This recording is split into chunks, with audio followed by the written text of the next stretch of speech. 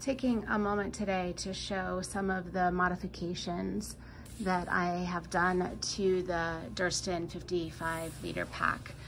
Um, I generally carry a bandana on the pack, but I'm going to take it off just so that you can see. I also carry my buff here.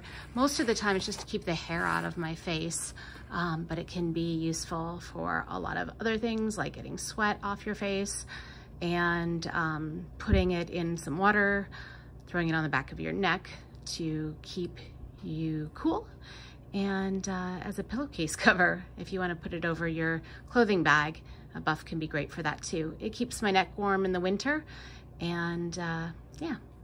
So what have I done to the Durston pack? Well I keep a, a whistle here um, this goes and just slides right into the one of the cup holders or the bottle holders here on the the strap and I don't know if you're going to be able to see it, but the biggest thing I've done with the Durston pack is I've added some mitten hooks um, to these, I don't even know what you call them, um, straps here on the shoulder straps. I've put them in a couple of places. This one allows me to clip and unclip my um, Swiss Army like multi tool here.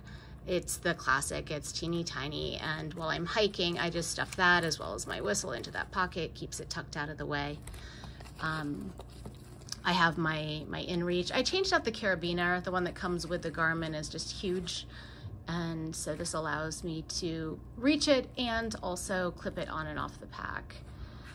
I have added um, another mitten hook here. And this is for the, the P-Style, which I like to have handy. Girls, if you don't have that, it's an awesome thing to have. To be able to pee standing up is just wonderful. I do carry, um, let me see if I can get my water bottle out. This is where I um, put my electrolytes and it's the water bottle that I go to. Can't find them very easily. It's the full um, 700 milliliter. Seem to have made the, the small bottle even smaller. And the, the liter is just too big to carry on the chest strap for me. I've also put one of those mitten clips here underneath and that's where I clip my mittens works perfectly.